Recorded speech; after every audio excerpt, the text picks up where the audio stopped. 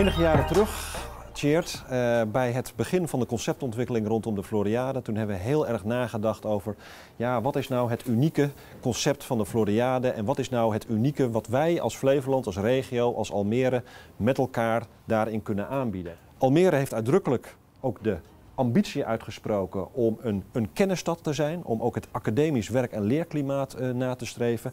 En ik denk dat we hier een unieke basis hebben gelegd om dat academische kennis- en leerklimaat ook uh, met elkaar te gaan ontwikkelen. Blij dat ook onze kennispartner de Eresgroep uh, zo enthousiast is ingestapt. En dat we met elkaar die groene beweging naar de stad van de toekomst gaan maken, maar ook invullen uh, zodat het ook een beweging van de hele stad wordt. Nou, we hebben net een uh, overeenkomst getekend met de Eres Hogeschool, de Groene Hogeschool van Almere. Die gaan hun studenten hier deels in huisvesten. Er komen ondernemers in, er komen studentondernemers in, er komen onderzoekers in. Maar we gaan het pand natuurlijk ook openstellen voor allerlei activiteiten en programma's voor de inwoners van Almere. Want uiteindelijk doen we het allemaal voor de inwoners van Almere en van Flevoland. Zij moeten ervaren wat het is om in een hele mooie, groene, gezonde stad te wonen, te werken, te ondernemen en te exposeren? Nou ja, we gaan het innovatiepaviljoen gebruiken voor allerlei dingen waar we als hogeschool... en misschien ook wel ons mbo uh, in Almere mee bezig zijn. Hè. Ik denk dat we het gaan gebruiken als een uitvalsbasis voor, uh, voor onderzoekers, voor studenten.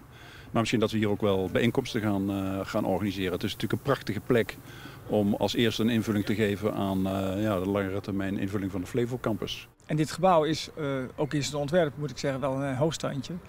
Uh, door, uh, nou ja, het laat het verhaal eigenlijk vertellen van de polder. Hè, want het is onder water, dat kun je ook zien nog in het gebouw. Dus het gebouw vertelt eigenlijk het verhaal van Flevoland. De, deze locatie is zo'n mooie brug tussen, nou ja, we, we, zien de stad. En als je die kant op draait en kijkt, dan zie je het achterland. En wij van Eres, we zijn van beide. Hè. Dus nou ja, ik vind dit ook zo'n hele prachtige locatie die juist die brug tussen het groene domein, het traditionelere groene domein, maar ook met de stad verbindt. En dat typeert eigenlijk ook de inhoud waar we mee bezig zijn. Dus het kon niet beter.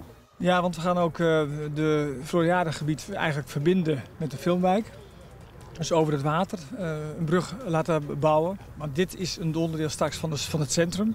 En wat doe je dan? Dat doe je door in ieder geval het andere delen van het centrum ook hiermee te gaan verbinden. En ik denk dat de, de dimensie van dit innovatiepaviljoen is echt de interactie tussen kennis en ook bedrijfsleven en andere partners. Nou, sterker nog, het wordt echt het beginpunt van een hele campusontwikkeling die gericht is op de groene, gezonde stad. Samen met de onderwijs- en kennisinstellingen. En we nemen ook aan dat er daarna nog heel veel ondernemers zich aan die campusontwikkeling gaan verbinden. Dus het is slechts het begin van een hele mooie ontwikkeling.